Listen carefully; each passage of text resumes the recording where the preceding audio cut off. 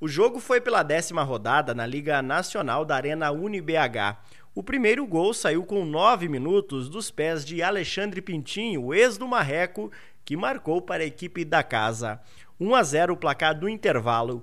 No segundo tempo, Pedro Carioca marcou o segundo de Minas aos sete minutos. Aos 11h23, Ribeiro marcou o terceiro.